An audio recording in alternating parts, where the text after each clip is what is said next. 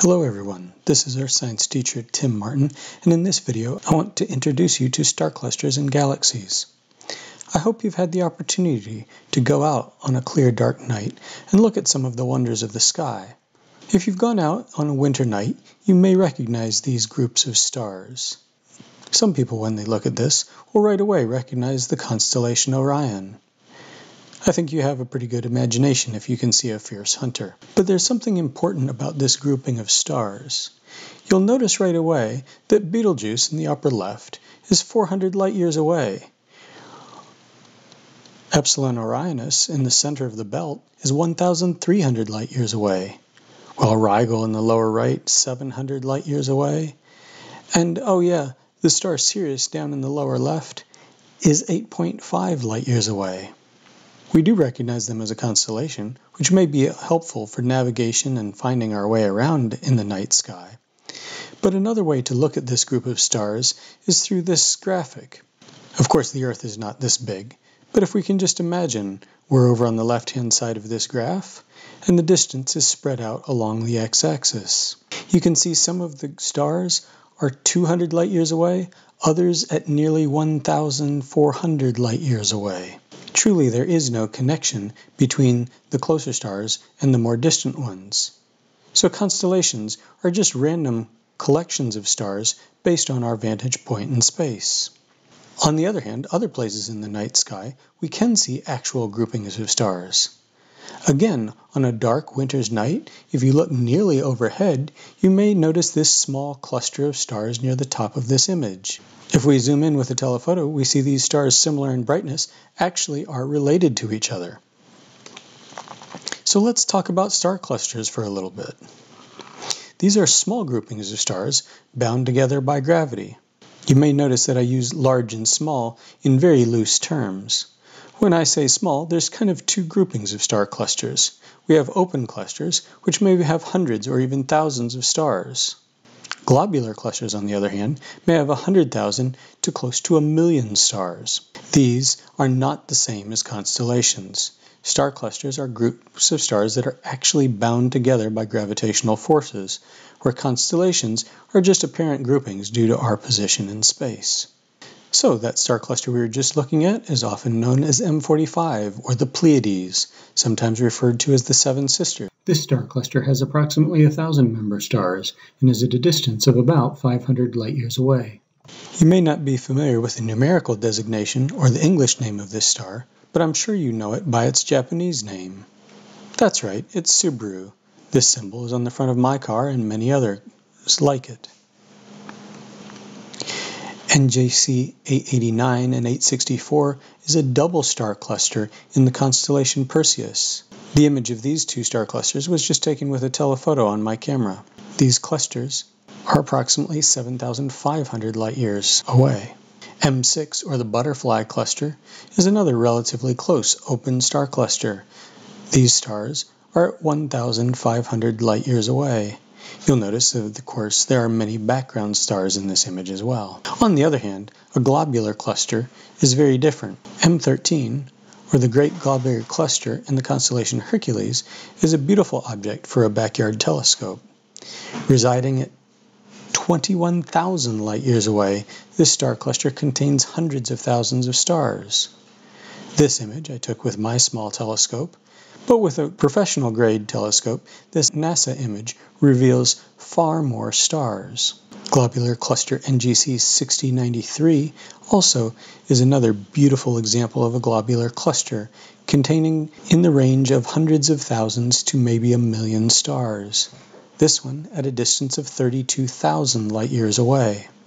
Omega Centauri is the closest globular cluster to Earth, although it's only visible in the southern hemisphere. At 15,800 light years away, this is an image just of the central region of this globular cluster.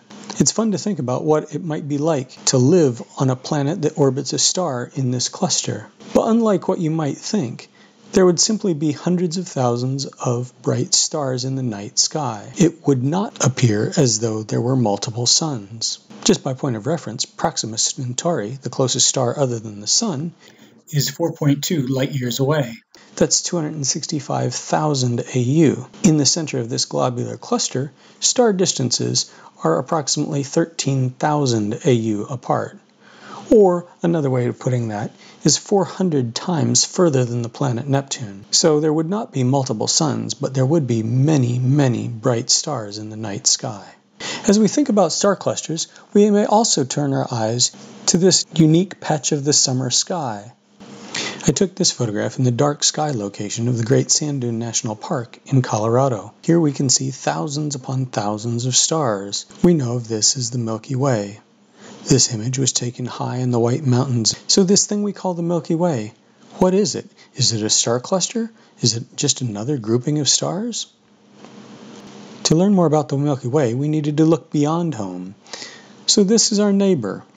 At first, this was known as the Great Spiral Nebula in the constellation Andromeda. On closer inspection with a telescope, we can see that there are dusty patches with more powerful telescopes. As seen in this NASA image, we can definitely see the spiral structure and two other groups of stars orbiting around it. It was Edwin Hubble in 1924 who realized that this in fact was not a nebula, but actually a galaxy made up of billions and billions of stars. We now know that the Andromeda Galaxy is 2.9 million light years away. So, what is a galaxy? After understanding a bit about our neighbor, we've studied our own galaxy, the Milky Way. This NASA poster indicates how we've studied the Milky Way in many different types of light across the electromagnetic spectrum, from radio to infrared to optical light to X ray and even gamma rays.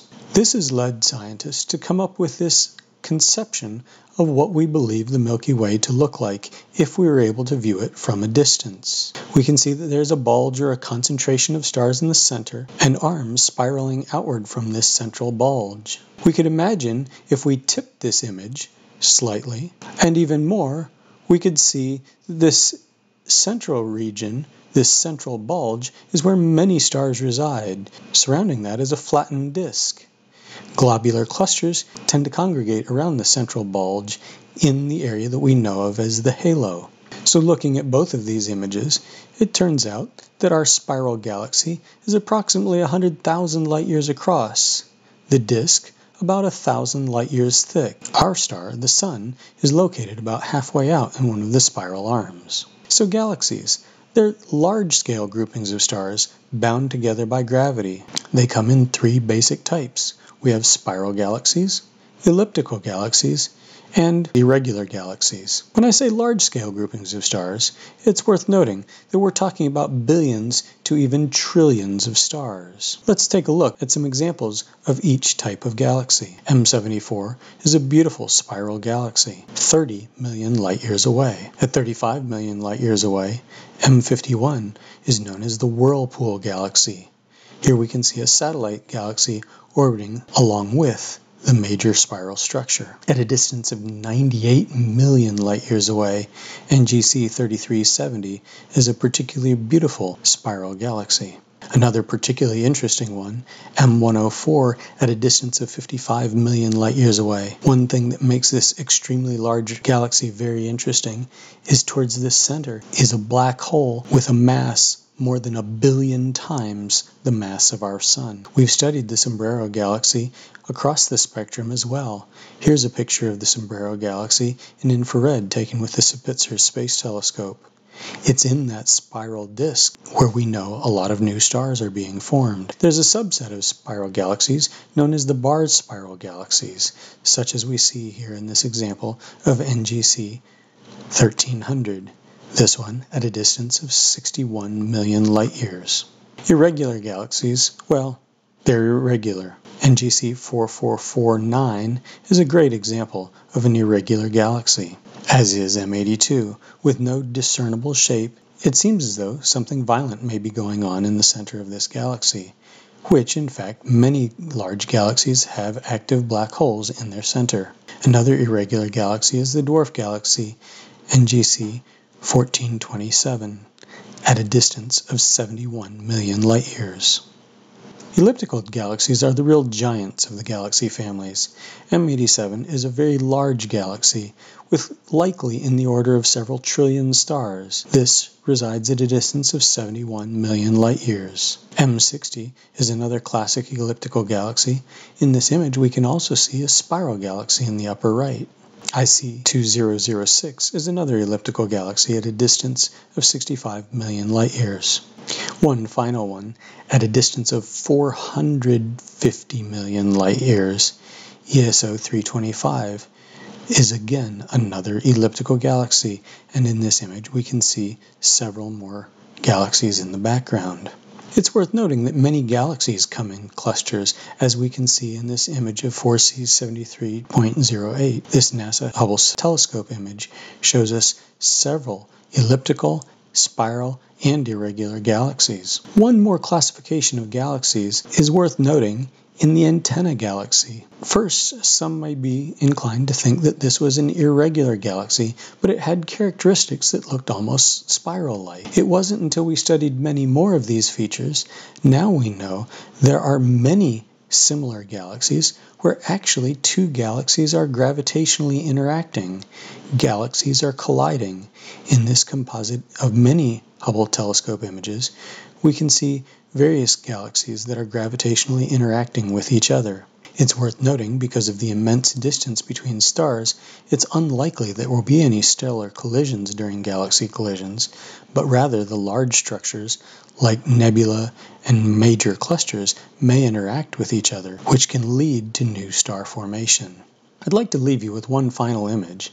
In this picture, called the Ultra Deep Field image by the Hubble telescope, there are four objects on this image that are stars within our own galaxy.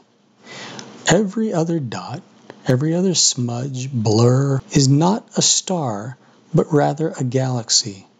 I hope you too find it incredible that a population of billions and billions of galaxies make up our universe. Thanks for watching, and I hope to see you again on another Earth Science video.